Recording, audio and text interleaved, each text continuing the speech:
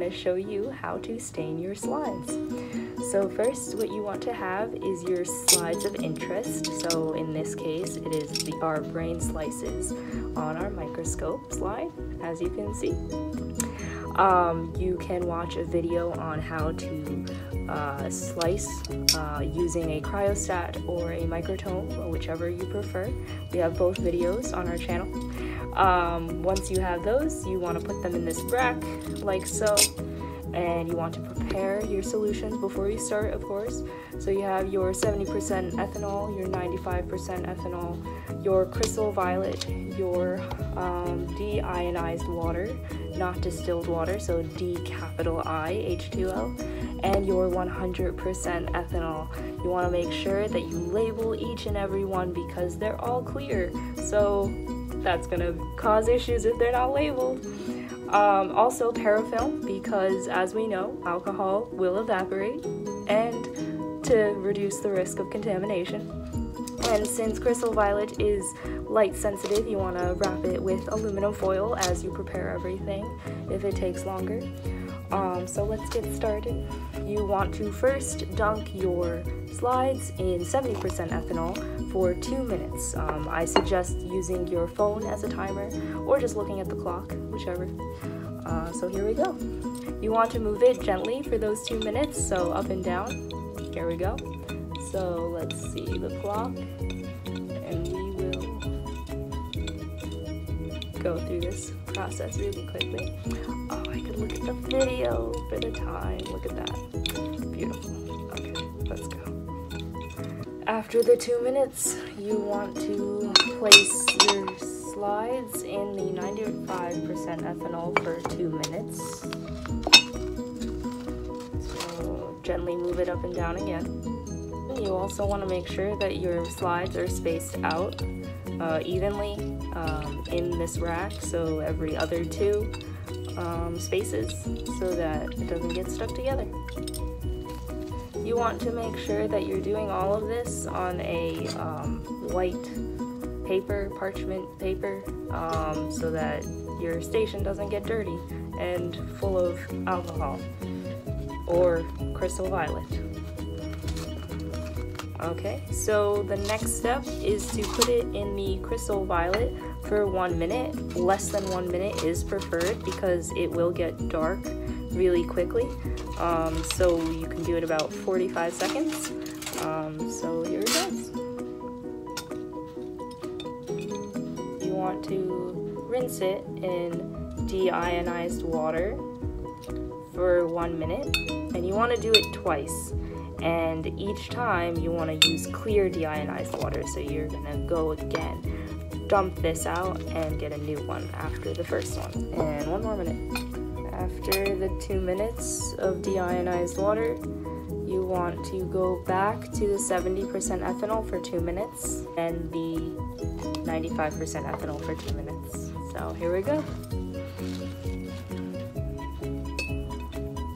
If you see here, it looks a little bit dark, darker than normal or darker than you might want it to be. So you want to do the 75% and 95% uh, ethanol again until it becomes lighter. Um, and each for two minutes again. If you find that it's still dark after repeating the 70% and the 95% ethanol for two minutes each, um, I would suggest that next time you leave it in cresyl violet for 30 seconds or less than what you did previously. Um, so for this case, I did it for 45 seconds. It's still dark after repeating those steps. Uh, so next time I'll do the 30 seconds instead of 45 but I'll continue and repeat the 70 and the 95% ethanol uh, until it gets later. Fun time, fun times, science, you know, trial and error, all part of research. So once you've repeated those steps or it was great the first time, you want to put it in 100% ethanol for 30 seconds to get all the impurities out and we're almost there.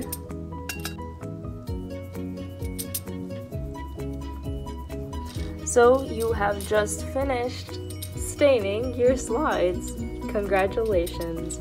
So the next step is to let it dry. And while you let it dry, get your permount ready so that you can put your cover slip on so that it preserves your slide. And then you can look at it under a microscope and for weeks to come so that you can enjoy your hard work. If you see that they're not as dirty or as purple uh, from the cresyl violet, you can preserve your um, alcohol, your ethanol, uh, in another closed container. Um, so, this one. But actually, the 100% ethanol can be preserved. So look at that. Look at that.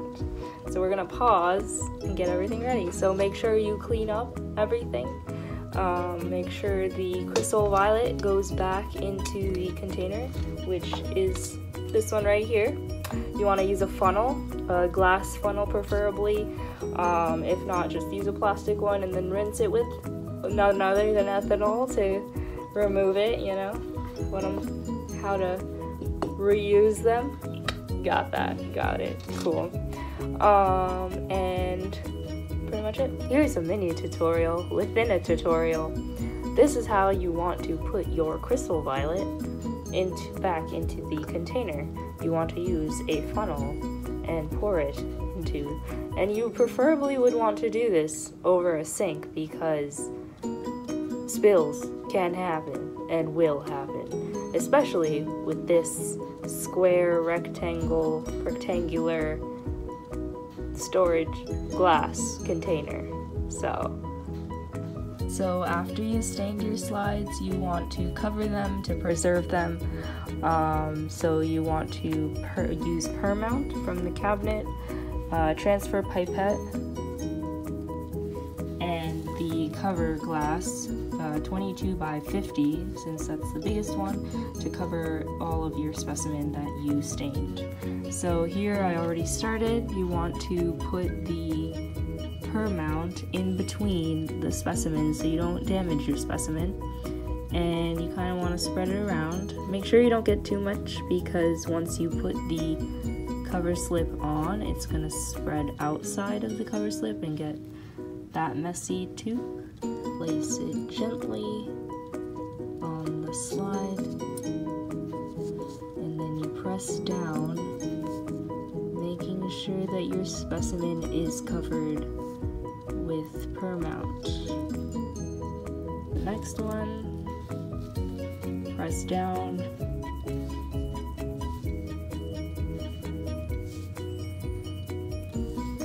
Make sure you get a Kim paper and just wipe the excess off before it dries so that it doesn't ruin the specimen or it doesn't get in the way of the specimen when you're looking at it under a microscope So there you have it.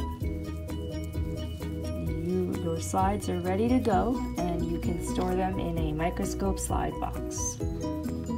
Like and subscribe, comment if you have any questions, and thanks for watching.